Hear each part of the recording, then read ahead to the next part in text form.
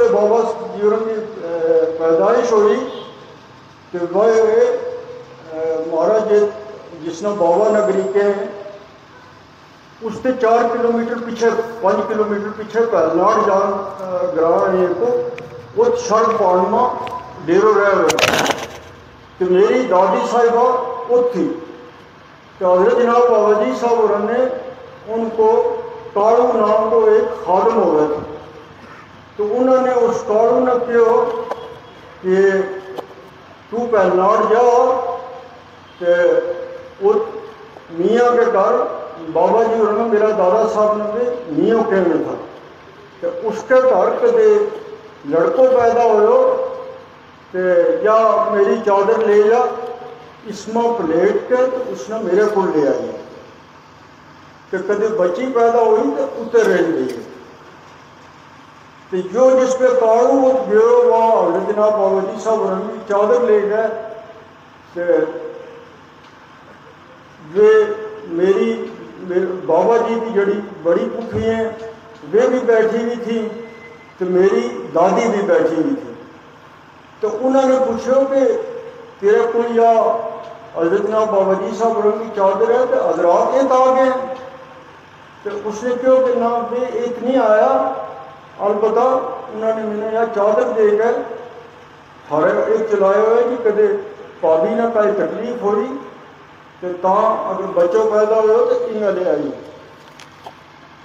तो वे हंस गया मेरी दादी भी तो बाबा जी और पुखी भी कि यह चंगी पली है कि तकलीफ़ है इसने कुछ भी नहीं हजरात गढ़ है यूँ ही चादर टोरे तो कुछ घंटा एक घंटे बाद उन्होंने तकलीफ़ हुई तो बाबा जी और पैदा होया तो फिर उन्होंने उसे चादर के लेट के तो जनाब बाबा जी साहब को जी छोटी मस्जिद है आज जी तुमने देखी होगी उसने बनी नहीं ना एक सौ चौबीस साल हो गया तो हमने उसमें अंदरों का एक तब्दीली भी नहीं करी बार बार सौ साल के बाद ठीक करी है तो वो तो उन्होंने बाबा जी उन्होंने कन्नामा बैत भी की अजान भी की उन्होंने जीप भी चुसाई। तो वो सारा कुछ जो है, वो उसी के बाद शुरू हो और जनाब बाबा जी साहब की जी तवज्जा थी जी उन्होंने बात जीप चुसाई तो वो एक बाबा जी और एक बाबा जी भी बनया सियासी लीडर भी बनया समाजी लीडर भी बनया सब कुछ अल्लाह ताला ने उन्होंने मौको दिखो। और वह वजह जड़ी थी, वह हज़रत जनाब बाबा जी साहब की निगाह थी उन पर। उनकी जड़ी दुआ थी, उसको असर थो कि उन्होंने अपना सिलसिला की खिदमत की, दीन की खिदमत की, और तम जरा भी वो जाता रहा बाबा जी और तो बाबा जी और सबसे बड़ी ताकीद जी हुए थी, वह नमाज़ की हुए थी।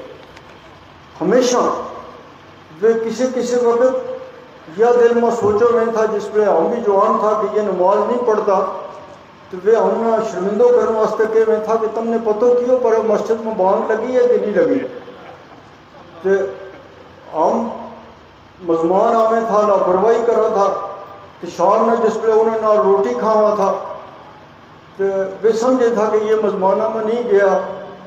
तो उस दूजा आदमी ने पूछे, में था कि आज कितना एक मजमान है? नाले उन्होंने वास्ते के पकाया होगा तो तब ना बेचारा ना पतो होगा को इन्होंने तो पतो नहीं हो सकता तो हूँ आज जा नहीं सको।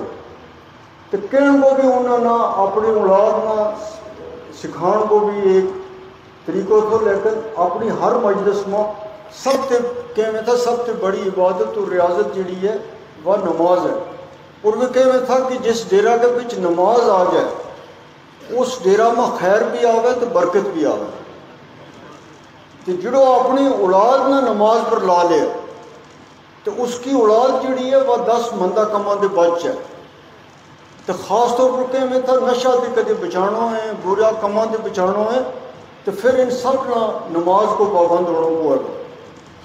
और बेटकी मेहमान जिस पे आवे थी, उनने भी यही ताकीद करे में था कि तुमने डेरो चलाना है तुमने डेरो देखना है तो तुम सबसे पहला अपनी औलाद का देखो वे हमेशा कह में था ਕਿ ਜ਼ਮੀਨ ਨਾਲ ਮਕਾਨ ਨਾਲ ਪੈਸਾ ਨਾਲ ਆਦਮੀ ਬੜੋ ਨਹੀਂ ਬਣਦਾ ਉਸ ਨਾਲ कोई किसी उस बड़ो नहीं आदमी बन सकता कि, कि में था कि सुकून कल्ब जो है जिसमें सुकून हो जाए वही असली बादशाह होगा वो बादशाह दौलत के नाल नहीं हो तो कोई गरीब भी है अगर तो गरीब ने भी गरीब नहीं रहना हो तो अमीर ने भी अमीर नहीं रहना हो तो। लेकिन वो अगर सुकून नाल दाल तो रोटी खाए, लस्सी तो रोटी खाए तो सही बादशाह वही है कि उसने सुकून है। कि सुकून की उसकी सबसे बड़ी वजह होगा कि उसने लालच नहीं होती। वो अपना लालच जी है, उसने काट करके रखे तो वो बीमारी से भी बचे रहे तो परेशानी से भी बचे रहे लेकिन क्या उनकी बड़ी ताकीद हुआ थी अपनी मजसा के बिच नमाज़ की और इस नशा के बचन की इस थी तो जी ये समाजी बुराई हुए थी, मारा तबका में पहले ज़्यादा हुए थी तो बाबा जी उन्होंने बाकायदा उन चीज़ों के खिलाफ लड़े। उस बड़ा का जड़ा खड़बेंच में था, थानेदार में था, और हाकम में था तो वे सारा ये इस गल के डरे में था कि किसी गरीब नाल हमने जुल्म कियो तो इसने मियाँ बशीर को शिकायत करनी है। तो उसको शिकायत की तो वो हमने नहीं छोड़ सकते। तो इस वास्ते वे बाबा जी के नाल हर एक यह सोचा गया था कि हम ना तो हर किस्म को सुकून मिल सके। मारी तो हर किस्म की मदद हो सके। तो दोस्ती उन्होंने जी हुए थी, मुहब्बत जी उनकी हुए थी वह हमेशा गरीब नाल हुए थी। नाल हुए थी मजबूर हुए थी और मिलन को उनको कदे अपना मेहमाना वास्ते दरवाजों बंद हो ही नहीं। और रजौरी पुंछ का मेहमान ना तो कदे मिना नहीं लगो कि उन्होंने कदे पूछे हुए कि वे सुता हुए या जागे लगावा, आज इस पर रात का दस बजे हुए हम जाएँ या ना जाएँ तो उनको कोई स्पेशल बेडरूम नहीं थो, कोई सो कमरों नहीं थो कि जिसमें कोई मेज़मान ना जा सके। उनका कमरा में मेज़मान होना ज़रूरी होने थे ना होने तो फिर वे मेज़मानों के बगैर रह नहीं सकेंगे। तमने सबने पता है कि या एक गॉड गिफ्टेड चीज़ हो या कुदरत किसी किसी पर मेहरबानी करे। कि वे जम्मू के पुरुष की तरफ़ आवे था तो कालाकोट में भी लोग के था। उतर रजौरी दर आवे था, ता भी रास्ता में लोग के था। ये तावे था कि रात जिस डेरा में उन्होंने जाना हुआ तो रात कोई नहीं हुआ तो सुबह उस डेरा के आसपास पाँच सौ आदमी हुए था। वह एक उन्होंने मोहब्बत थी, एक उन्होंने कुदरत ने वो एक उन्होंने ऊपर मेहरबानी की हुई थी। और पुण रजौरी नाल तो उनको बहुत ज़्यादा ताल्लक रहे हो बहुत ज़्यादा रिश्तों रहे। हो और जिस तरह मैं दोबारा हूँ रिपीट नहीं करना चाहता कि इतना थारो भी उन्होंने प्यार रहे हो जिसकी आज इतना मुख्तर नोटिस के ऊपर इतना लोगों को आना जो है, इससे बड़ो कोई सबूत हो ही नहीं सकता। इससे बड़ी का मोहब्बत हो ही नहीं सकती। तो ये चीज़ जी थी ताड़ी जी है, वह दो हाथों बजे तो वह उनकी भी मोहब्बत है तो थारी भी मोहब्बत है। तो बाबा जी उन्होंने अपना सिलसिला की बड़ी खिदमत की। वे बहुत ज़्यादा अपना लोगों ने अपना सिलसिला की तरफ़ जोड़िया बैत भी की और हमेशा उनकी नसीहत जड़ी हुई थी, वह शरीयत की पाबंदी की तरफ़ हो गई थी। अल्लाह और अल्लाह का रसूल की अतात की तरफ़ से हो गए हुए थे। कई लोग जड़ा उन्होंने कोल परेशान जाए में था, बड़ी दुनिया जाए हुए थी। तो वे कह था, यार यह परेशानी जड़ी है ये हमारा पैगंबर न भी रही। तो फिर वे आ हजूर सल्लल्लाहु अलैहि वसल्लम के मतलब फरमाया था कि उन्होंने कितनी परेशानी देखी है, कितना मसाइब देखे हैं। तो फिर हज़रत जनाब बाबा जी साहब और के में था कि उन्होंने अपना बच, पैदा होता ही कितनी मुश्किल देखी वे चार ही साल का था तो यतीम हो गया था, फिर उन्होंने कितनी मुश्किल देखी। तो उन्होंने उनकी मुश्किल उस पर हाल हुई, जिस पर वे अपना पीर को कई शरीफ आया। तो उन्होंने उन्होंने बैत भी कियो, सब कुछ कियो तो फिर उन्होंने भी परेशानी भी दूर हो गई वह गुर्बत भी दूर हो गई। फिर उन्होंने हज़रत जनाब बाबा जी साहब उन्होंने क्यों कि तू जा लंगर दे। तो हज़रत जनाब बाबा जी साहब उन्होंने क्यों कि मेरे को आप खान जो कुछ नहीं तो हूँ तो थारे को आयो तो किसी का कहन पर तो तम कहेंगे लंगर दे। उन्होंने क्यों, ना, बोस्तान खान मेरो एक मरीज़ है तो उसने चार किलो जो ले जाइए, शुरू करिए, फिर यू क्यामत तक चलेगा। उस रस्तो दस्यो वो थो हाजी बाबा साहब होर दस्यो वो थो बाबा जी होर ने उस रास्ता ना हमवार भी कियो, खुलो भी कियो और अपनी तरफ़ से कर कर उसने पहुँचाने की कोशिश भी की। तो अदबी मामला में तम बाबा जी ने देखेगा कि वे हमेशा अदीबा, शायरा लिखन वालों को बहुत एहतराम करें। और जड़ा थरे भी जो उनकी मजलिस में बहुत ज़्यादा बैठा है तो हमने देखे होगा कि उन्होंने कितना शेर याद था। इतना शेर याद था, उन्होंने मेरे ख्याल पे सारी सैफ, मिसर सैफ मलूक जी थी, वह ज़बानी याद थी। और बर महल में शेर उन्होंने इतना याद हुआ था कि उस तकरीब का हवाला नाल या उस शख्स का हवाला के नाल वे इस तरह शेर कहें था कि आदमी सोचा कि अल्लाह इस उम्र के बीच इनकी यादाश्त जी है, वह एक सिर्फ़ अल्लाह ताला की देन ही थी। और उन्होंने तमाम हमारा जड़ा शायर था ख़ास तौर पर रजौरी पुंछ का, हज़रत जनाब बाबा जी साहब उरंगो आजी बाबा साहब उरंगो इन सबको कलाम जो है, वो बाबा जी ने जमा किया। वो किसी का कोल नहीं। इतनी मेहनत, इतनी रियाजत करके उन्होंने इतनी कोशिश करके एक एक कागज़ जमा करके तो अल जनाब बाबा जी साहब उरंगो हाजी बाबा साहब उरंगो जार साहब को, राणा साहब को, मौलाना मेरदीन कमर को, सब जड़ा हमारा शायर अदीब है, उनको सारो कलाम जमा करके अपना लोगों तक पहुँचाया। आज वो हर जगह मौजूद है, वो ना कल्चर अकेडमी है, ना रेडियो है, किसी कोल भी नहीं। लेकिन उन्होंने एक दिलचस्पी थी वे उलमा की बहुत ज़्यादा इज़्ज़त करें, सादात की बहुत ज़्यादा इज़्ज़त करें। मैं हमेशा देखे उन्होंने कि कदे भी उन्होंने ऐसी गल नहीं की जिससे उलमा है, सादात हैं, बुज़ुर्ग हैं, उन्होंने नाल का ऐसी चीज़ की जाए या उन्होंने कहा ऐसी चीज़ कही जाए जिससे उनको दिल दुख है या कुछ करे या वे ये सोचें कि ये हमारी इज़्ज़त नहीं करता, वे हर आदमी की इज़्ज़त करें लेकिन ख़ास तौर पर उलमा वास्ते, सादात वास्ते उनको एक दूजो एक सिलसिलो थो, वे उनकी इतनी इज़्ज़त करें था तो सियासत बाबा जी ने बड़ी, बड़ो लम्बो अरसों की। वे बहुत पहला ही, पहले जी ज़िंदगी उनकी है, उन्होंने अपनी डायरिया में लिखे हो अपनी किताबों में लिखे हो कि बचपन में हम, हूँ, लंगर की, आटा की खल भी जंदर ते खुद आणू हूँ थे। तो लंगर का तंदूर की लकड़ी भी हूँ खुद करूँ थे। तो उसके बाद फिर इस खड़पेंची वगैरह में वे आ गया तो वे जैलदार बनया इसमें उन्नीस सौ अड़ताली उनवंजा के फिर उन्होंने देखो कि जैलदारा लोगों ने बड़ी नफरत है। तो उन्होंने लिखे कि उस पर मिर्ज़ा अफसर बेग उन्नीस सौ इक्यावन के बिच मशीर माल थो तो हूँ उसके को तो मैं उसने कहो कि इस जलदारा लोग बड़ी नफरत करें, इस वास्ते हूँ उससे इस्तीफ़ो देना चाहूँ। तो उसने कहो कि जब मियाँ बशीर, तू रात सोच, या जलदारी कोई नहीं छोड़ता। तो रात सोच के तो सुबह मेरे को आइए सुबह के हूँ, फिर चले गए। चले गए, उसने क्यों के सोचो? मैं क्या उसने क्यों कि मैं सोच रहा हूँ, नहीं रहता। नहीं, लोग इस निज़ाम ना पसंद ही नहीं करता।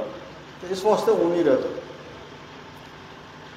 उसने पूरा यकीन नहीं आया, उसने कागज़ देते, इन्होंने इस्तीफ़ो लिखे। तो बेग साहब बड़ा मज़ाक करे हुए था तो उसने देख के क्यों कि मेरो एक मामू भी जलदार है तो मियाँ साहब उनकी ना के दसूँ वो कितना पुठा काम करे। अज हूँ एक गल करो कि हूँ एक तो तेरो वो भी चाहूँ कि जरदारी निज़ाम जो है, जो ख़त्म हो गया मगर इसके खिलाफ कोई बोले नहीं था। तो हूँ चूँकि ते इस्तीफ़ो दितो है तो हूँ तेरो इस्तीफ़ो भी कबूल करूँ। तो हुकूमत ने सिफारिश करूँ कि इस जलदारी निज़ाम ने भी ख़त्म कर सकें।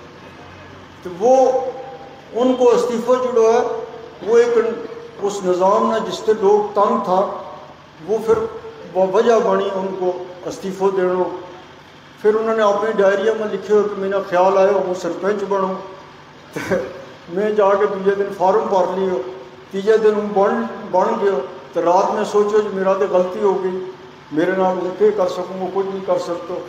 तो फिर एक अपना दोस्त हो आजी मुला नादर तो उसने लेकर हूँ तहसीलदार को हाजिर हो गया गांधरबल में तो मैं क्यों जनाब, हूँ लिखे भी हूँ जो हूँ या नहीं कर सकता तो यो करेगा मैंने कहा उसने भी अपनी जान जड़ी है वह छुड़काई।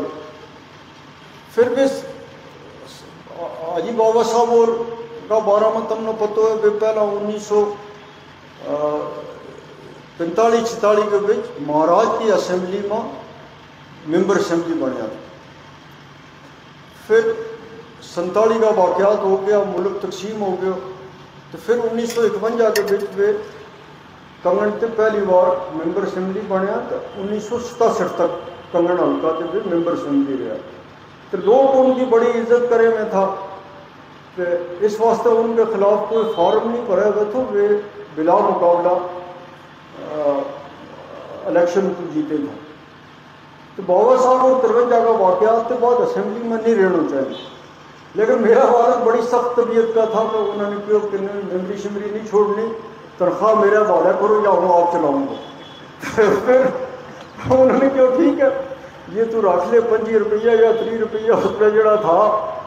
तो अमली तौर के ऊपर वे उसके बाद उस चीज़ के नाल रहा। रहा, सियासत नाल समाजी कमां अपना लोगों नाल तो उन्होंने ठेकेदारी भी करी, जंगलात की ठेकेदारी भी करी पी डब्ल्यू डी की ठेकेदारी भी करी, और बड़ी साफ़ दिली नाल लिखे हुए कि मैं आज इंजीनियर ने कितना कमीशन दिता रेंजर ने कितना पैसा दिता डी एफ़ ने कितना पैसा दिता मेरे नाल के के हो तो रहे। हो तो एक जंगल का केस के बिच उन्होंने सियासी चपकलश थी, बड़ी ज़बरदस्त। तो सियासत के बिच ये सारी चीज़ होवे तो उन्होंने एक इसमें सियासत का एक मामला के बिच उन्होंने क्यों जंगल को एक ठेको हो तो उसमें उन्होंने जेल ले गया उन्होंने अपना डायरी का सब सफ़ा पर लिखे हुए थे, वो मेरे को है नहीं, वो तो मैं पढ़ के सुना तो। उन्होंने लिखे हुए तो मैंने जेल के अंदर ले गया। ले गया उन्होंने पहुँचा लिया सब कुछ तो उन्होंने डर भी गया मेरा हूँ आर्डर बनन लगो कि मीना अंदर कोठी के बिच रखना जिसमें मैंने वेखेड़ लगा कि हूँ तेना जाना है कागज़ तेरो बन गयो गेट थी तो वो अंदर आ गयो थे लेकिन वो कोठी वाली गल मेरा जेल में नहीं थी जिसमें उन्होंने यह गल कही उसे अरसा में सादक साहब चीफ मिनिस्टर था तो उन्होंने फ़ोन आ गया कि यार इन्होंने फटाफट रहा कर जो किसी कंपिटेंट कोर्ट ने या किसी ने नहीं किया, वो ये कलेक्टर ने किया है। तो यो हमने इसने देखो है कि यो लीगली तौर पर नहीं बनतो। तो फिर अगे लिखे हुआ कि अल्लाह ताला ने मेरी बहुत भी इज़्ज़त रख ली तो वो उस कोठी जान तो क्या बजाय से तो हम उस दरवाज़ा थे वापस आ गए जित में ना भेजे था। तो सियासी मुकाबला भी उन्होंने बड़ा किया। और सियासी मुकाबला में वे छोटी सियासत करे नहीं था। वे अपना किसी अज़ीज़ नाल, किस, किसी अपना चाहे किसी भी तबका को हो तो वे नहीं चाहे मैं था कि हूँ इसके नाल उलझूँ या इसकी मुखालफत करूँ या कुछ करूँ, हमेशा उनकी यह कोशिश रही है। फिर अलबत् उनकी सियासत की यह हो गई थी कि जम्मू कश्मीर को जो चीफ मिनिस्टर बने, वो मेरी मर्ज़ी को बने। तो वो मेरी मर्ज़ी को नहीं बनता तो वो चलन नहीं देना। फिर वो सारो जो सिलसिला रहा था, वो ऊपर ऊपर ही रह रहे थे। वो बने कोई तो वो फिर मेरे ताबेदार भी बने तो मेरा लोगों को भी ताबेदार बने सब कुछ।